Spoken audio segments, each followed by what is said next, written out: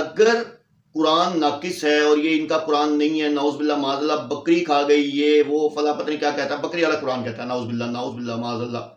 اور کہتا ہے جی ہمارے پاس تو مولا علی کا قرآن ہے، تو میں نے تو چیلنج یہی رکھا تھا مناظرے کا کہ مولا علی کا قرآن دکھا دے، ٹھیک ہے، اپنے ساتھ رکھ کے بیٹھے، برات قرآن پہ ہوگی، تمہاری کتابیں نہیں مانتے، ہم تمہاری نہیں مانتے۔ تو جب یہ شرائط بتائی گئی تھی تو تب سے اس کا ماڈریٹر بھاگا دوبارہ واپس نہیں آیا، کیونکہ ان کے پاس مولا علی کا قرآن نہیں ہے۔ آج جو ویڈیو شہنشاہ نقوی کی میرے سامنے سے گزری، اس میں شہنشاہ نقوی، جو کہ آپ لوگوں کا پاکستان میں ایک بڑا معتبر قسم کا عالم دین ہے، آپ لوگوں کا، اور وہ اس چیز کو ایکسیپٹ کرتا ہے اور وہ کہتا ہے، اور وہ ایکسیپٹ کر رہا ہے اور وہ کہتا ہے کہ، اور یقین کریں کہ یہ میں نے بھی فزیکل دو سے چار شیعہ مسجد میں جا کے دیکھا ہے شیعوں کے گھروں میں جا کے میں نے دیکھا ہے کہ ان کے پاس بھی جو قرآن ہے وہ یہی ہے۔ ٹھیک ہے؟ اور آپ کی کتابوں میں جو قرآن کی آیات کو بدلا جاتا ہے، لیکن آیتیں یہی ہیں، اسی قرآن کی ہیں، جس کو یہ نوز باللہ عمری قرآن کہتا ہے، کبھی بکری قرآن کہتا ہے نوز باللہ یہ جو حسن اللہ یاری دجال ہے، یہ کمینہ خصلت انسان ہے، یہ یہ یہ حرکتیں کرتا ہے۔ تو شہنشاہ نقوی نے اپنے منہ سے اس چیز کا اقرار کیا کہ جی جو قرآن ہے وہ یہی ہے، یہی شیعوں کے پاس ہے، یہی اہل سنت کے پاس ہے، اس کے علاوہ کوئی دوسرا قرآن نہیں ہے۔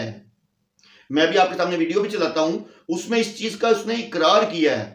والذین آمنوا اشد حب اللہ آپ نے کہا کہ اہل سنت کے پاس قرآن نہیں ہے اہل تشیع کے پاس قرآن ہے۔ ٹھیک ہے؟ اب سوال میرا یہ آپ سے کہ اہل تشیعوں کے پاس جو قرآن ہے وہ کہاں ہے؟ ہر ایک کے گھر میں پڑھا ہے نا؟ مسجد میں پڑھا ہے گھر میں پڑھا ہے۔ اچھا، گھر میں پڑھا ہے جی آفس میں یہ پڑھا ہے گاڑی میں پڑھا ہے ہر جگہ شیعہ کے پاس قرآن ہوتا اعوذ باللہ من الشیطان الرجیم بسم اللہ الرحمن الرحیم۔ امنت باللہ ورسولہ هو الاول والآخر والظاہر والباطن وهو على كل شيء علیم۔ رب اشرح لي صدری ويسر لي امری واحلل عقدۃ من لسانی یفقهوا قولی۔ معزز ناظرین السلام علیکم۔ جیسا کہ آپ جانتے ہیں کہ دجالی فتنوں کے حوالے سے میں ویڈیوز بنا رہا ہوں، اس میں سر فہرست جو ہے، حسن اللہ یاری ہے۔ اور بہت سارے ہیں، حسن شہنشاہ نقوی بھی ہے۔ بہت سارے یعنی کہ میں جو ہیں، جیسے آصف رضا الوی جو کہ اسی کا ہم جولی ہے، جو کہ یعنی کہ نوز باللہ معاذ اللہ، جن کو ان کے اپنے امام جو ہیں، جنٹ کہتے ہیں۔ میں نے لاسٹ ویڈیو میں حسن اللہ یاری کے حوالے سے پروف کیا تھا کہ اس کے اپنے جو سب سے بڑے ان کے جو شستین ہیں، ان کا نام پتہ نہیں کیا ہے، جو عالم ہیں انہوں نے فتویٰ دے دیا ہے کہ اس اپنے باقاعدہ اسٹوڈنٹس کو کہا ہے کہ اس کے اس میں جاؤ اور اس کی بات تو اس کے جو عقائد ہیں ان کو رد کر کے اس کو ایکسپوز کرو۔ اور جو ایکسپوز کرے گا، اس کو جو ہے یعنی کہ مرات یعنی کہ جو بھی بتایا گیا کہ اس کو عمرہ، حج کی سعادت اور یہ اور وہ نا، میں نے کل بھی آج بھی میں سامنے جو ہے نا وہ پیپر وہ جو ان کا وہ ہے، کیا نام ہے لیٹر جو انہوں نے لکھا ہے، فتوے کا، وہ میں آپ کے سامنے یعنی کہ اس میں ڈال دوں گا، آپ دیکھ لیجیے گا اور وہ ویڈیو بھی ڈال دوں گا۔ اچھا اب آ جاتی ہے بات، ایک یعنی کہ ویڈیو میری نظر سے گزری جو کہ شہنشاہ نقوی کی تھی۔ اب حسن اللہ یاری یہ کہتا ہے کہ یہ قرآن جو ہے، یہ ناقص ہے، اس میں نقصان ہے، یہ مکمل نہیں ہے، اس میں ایٹی سیون پرسنٹ تحریف ہے ناؤز باللہ معاذ اللہ۔ یعنی کہ یہ قرآن پہ الزام لگاتا ہے اور میں اس حوالے سے بھی اتنی ساری ویڈیوز بنا چکا ہوا ہوں اور اس میں میں باقاعدہ اس کا جھوٹا چہرہ دکھا چکا ہوا ہوں کہ آپ یہ دیکھیں کہ جن کتابوں کے ریفرنسز دیتا تھا، میں انہی کتابوں سے اس کا چہرہ جو ہے دکھا رہا ہوں اور ان اس کی ان کتابوں کو یعنی کہ ایکسپوز کر رہا ہوں کہ اگر قرآن ناقص ہے اور یہ ان کا قرآن نہیں ہے ناؤز باللہ معاذ اللہ بکری کھا گئی، یہ وہ فلاں پتہ نہیں کیا کہتا ہے بکری والا قرآن کہتا ہے ناؤز باللہ ناؤز باللہ معاذ اللہ اور کہتا ہے جی ہمارے پاس تو مولا علی کا قرآن ہے، تو میں نے تو چیلنج یہی رکھا تھا مناظرے کا کہ مولا علی کا قرآن دکھا دے، ٹھیک ہے، اپنے ساتھ رکھ کے بیٹھے۔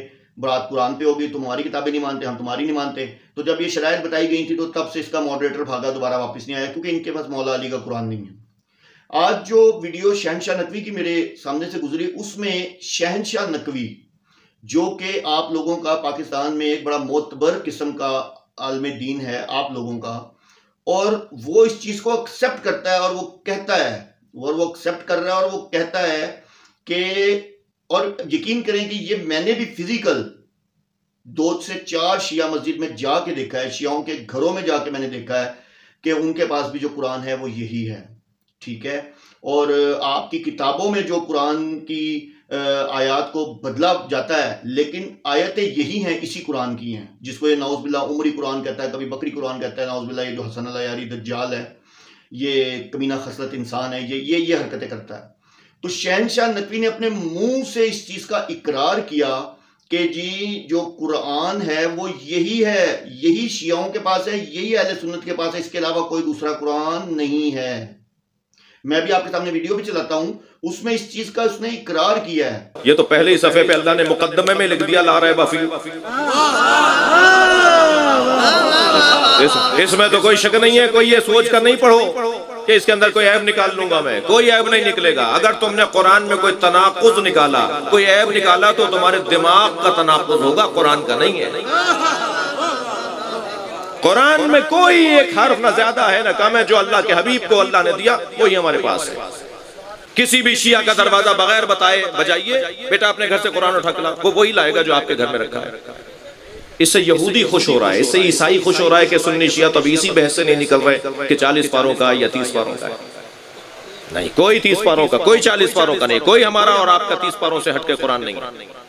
ایک ہی قرآن ہے۔ مسلمانوں کا کلام جو اللہ نے مسلمانوں کے لیے خاص مسلمان فائدہ اٹھا رہے ہیں، ورنہ تو سب کے لیے۔ وہ یہی قرآن ہے۔ کہ آپ بھلے کسی شیعہ کا دروازہ کھٹکھٹائیں اور اس دروازہ کھٹکھٹانے کے بعد ان سے قرآن مانگے تو وہ آپ کو یہی قرآن دکھائیں گے۔ اور کوئی قرآن ہے ہی نہیں۔ تو جو یہ اور کوئی قرآن کی بات کرتا ہے تو وہ یعنی کہ غلط بات کرتا ہے۔ یہ میں نہیں کہہ رہا، یہ آپ کا شہنشاہ نقوی کہہ رہا ہے۔ اور وہ کہتا ہے اس میں ایک لفظ کی بھی تحریف نہیں ہے۔ اچھا یہ جو دجال حسن اللہ یہ تو کہتا ہے یہ مکمل ہی نہیں ہے، ستاسی پرسنٹ اس میں تحریف ہے۔ اچھا مزے کی بات ہے، آیتیں، آیتوں کے ریفرنس بھی اس میں سے ہی دیکھتا ہے۔ ٹھیک ہے؟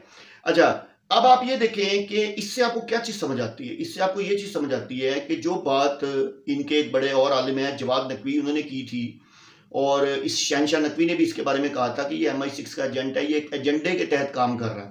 اور اس کا کام جو ہے ایک شیعہ مذہب کو ایک نئے مذہب میں کنورٹ کر کے ویسے تو ان کے بھی بہت سارے فرقے ہیں ٹھیک ہے؟ ایک نئے مذہب میں کنورٹ کر کے شیعوں میں لہدہ تصادم سنی اور شیعہ میں لہدہ تصادم کریٹ کرنا ہے۔ اور آپ دیکھیں کہ جو سنی حضرات ہیں وہ اہل تشیع ہو رہے ہیں۔ کیوں؟ اس کی جھوٹی باتوں میں آ کے الحمدللہ الحمدللہ جب سے میں نے ویڈیوز ایکسپوز کرنا شروع کی ہیں، ان کو بڑی تقویت ملی ہے شیعوں کو، اب نیچے کوئی بھی شیعہ جو ہے وہ بکواس نہیں کرتا، نہ گالیاں نکال رہا آج کل مجھے لگتا ہے کہ شاید ان کو کچھ باتیں سمجھ آ رہی ہیں، اس کا فریب سمجھ آ رہا ہے، اس کا دجالی چہرہ سمجھ آ رہا ہے۔ جو میں اس کو بے نقاب کر رہا ہوں، ان کی کتابوں کو بے نقاب کر رہا ہوں کہ ان کی کتابیں جھوٹ اور فریب سے بھری پڑی ہیں۔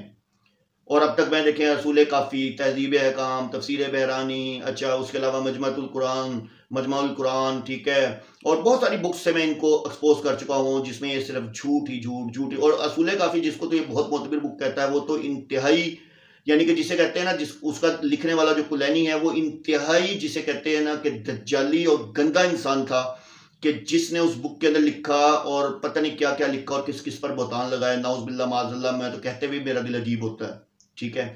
تو اور حسن اللہ یاری اس کتاب کو کہتا ہے کہ یہ تو سب سے معتبر کتاب ہے۔ تو آپ نے ویڈیو سن لی اور آپ نے ویڈیو دیکھ لی کہ آج آپ کے پاکستان کے سب سے بڑے جو شیعہ عالم ہیں، وہ یہی کہتے ہیں کہ کوئی مولا علی کا قرآن علیحدہ سے نہیں ہے، یہی قرآن ہے اور یہی قرآن جو ہے وہ ہر شیعہ کے گھر میں پڑا ہے، ہر مسجد میں پڑا ہوا ہے۔ ٹھیک ہے؟ تو حسن اللہ یاری یہ تیرے منہ پہ بہت بڑا تماچا ہے۔ ابھی بھی غیرت ہے۔ اور شیعوں ابھی بھی جو حسن اللہ یاری کے فالوورز ہیں، ان سے میری گزارش ہے، ابھی بھی سمجھ جاؤ۔ تمہارا عالم کہہ رہا ہے، تمہارا عالم کہہ رہا ہے، میں نہیں کہہ رہا اور ایک نہیں کہہ رہا، کافی سارے عالم کہہ رہے ہیں کہ قرآن جو ہے وہ اللہ کی کتاب ہے اور وہ ایک ہے، اس میں ایک حرف کی بھی چینجنگ نہیں ہے۔ اور یہ دجال کہتا ہے کہ اس کے اندر تحریف ہے۔ اللہ عز و جل آپ کو اور مجھے ان تمام دجالوں سے بچائے۔ یعنی کہ اہل تشیح حضرات جتنے بھی ان کے یہ علماء ہیں اور یہ اس طرح کے حسن اللہ یاری جیسے دجالی فتنے ہیں، ان سے بچائے اور محفوظ رکھے ان کے شر سے واخر دوانا ان الحمد للہ رب العالمین۔